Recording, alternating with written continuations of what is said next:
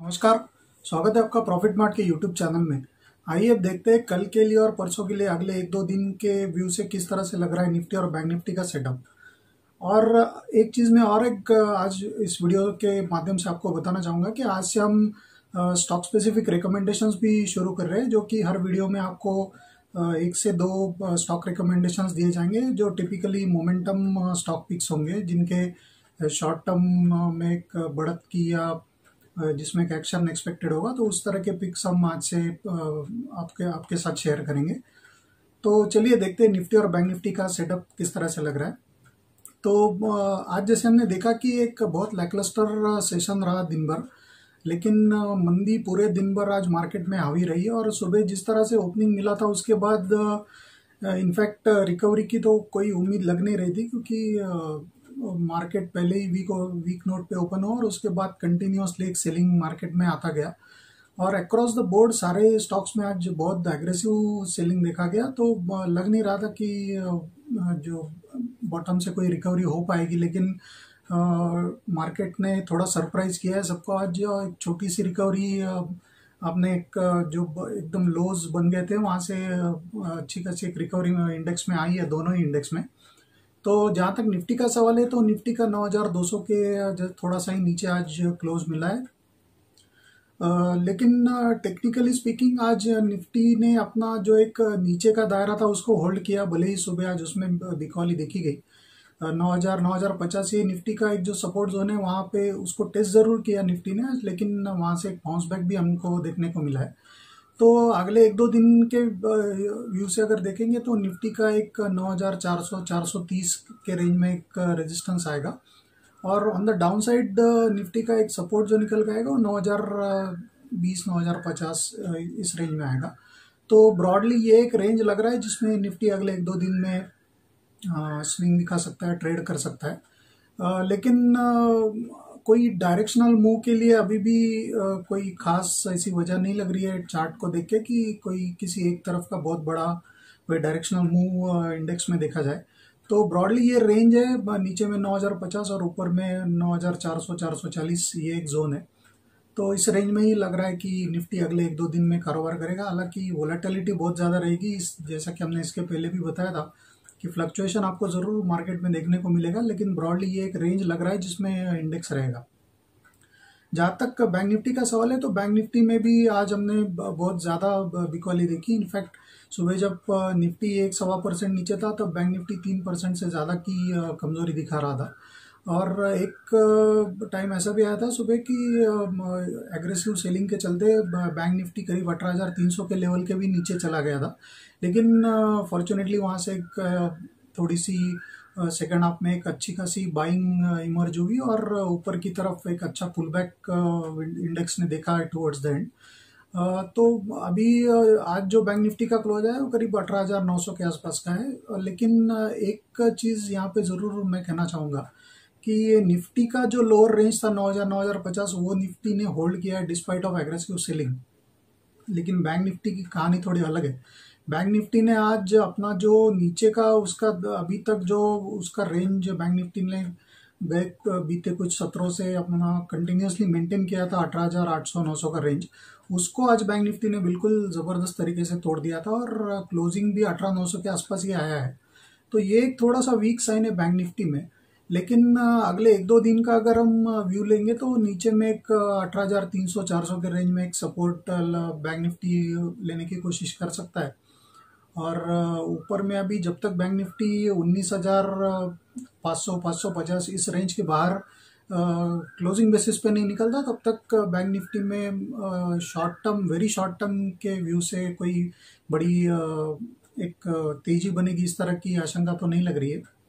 तो ब्रॉडली एक हज़ार पॉइंट का एक हज़ार से बारह सौ पॉइंट का एक रेंज लग रहा है बैंक निफ्टी का अगले दो से तीन सेशन के लिए, जिसमें कि नीचे की तरफ़ अठारह हज़ार तीन सौ और ऊपर की तरफ़ उन्नीस हज़ार पाँच सौ पाँच सौ पचास, ये एक उसका जोन लग रहा है।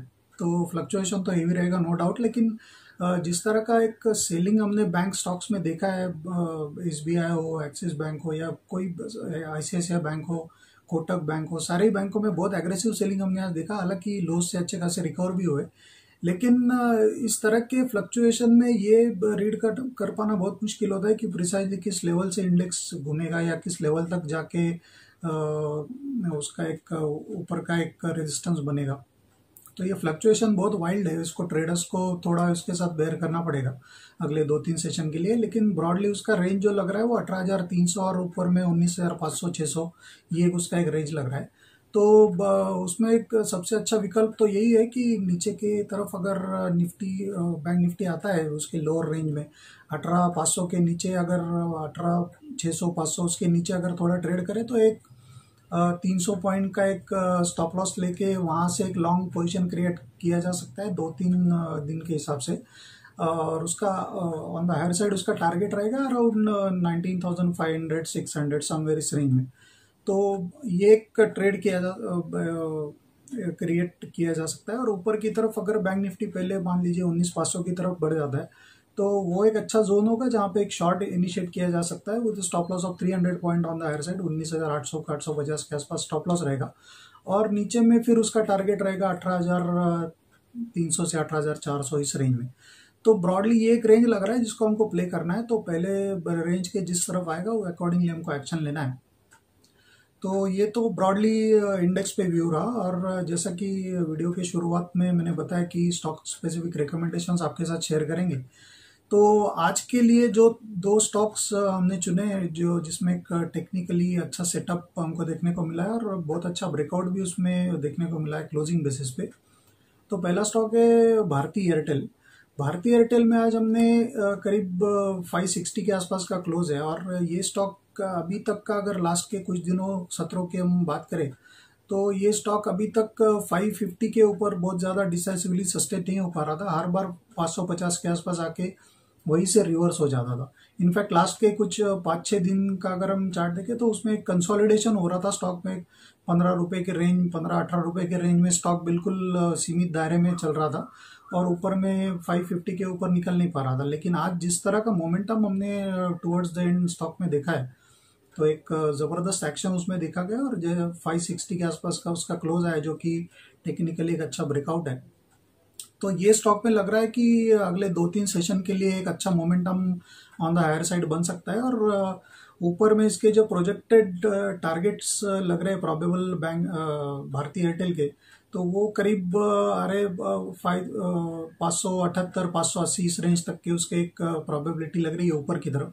नीचे की तरफ़ जहाँ तक सवाल है कि बैंक भारतीय आपको लेना का है? तो लेना आपको थोड़ी छोटी मोटी कोई अगर उसमें गिरावट आती है, मान लीजिए पाँच पाँच रुपये आठ रुपये की तो जितना आपको फिफ्टी फिफ्टी फोर इस रेंज में अगर ये स्टॉक आता है इनकेस किसी वजह से मार्केट फ्लक्चुएशन की वजह से तो वो एक अच्छा जोन होगा जहाँ पे आप उसको, उसमें एंटर हो सकते हैं और आपका स्टॉप लॉस रहेगा अराउंड फाइव फोर्टी के आसपास और five thirty eight five forty के आसपास आपका एक स्टॉप लॉस होगा और ऊपर में आप अराउंड फाइव एटी तक के टारगेट उसमें देख सकते हैं।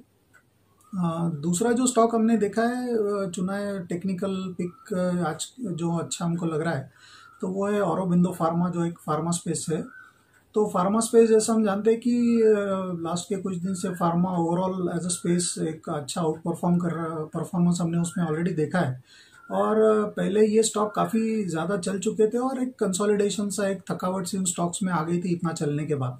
तो एक अच्छा एक, उसमें एक कंसोलिडेशन हमने देखा है और औरो फार्मा की जहाँ तक बात है तो एक कंसोलिडेशन अच्छा देखने के बाद स्टॉक ने आज एक अच्छा ब्रेकआउट दिया है ऊपर की तरफ़।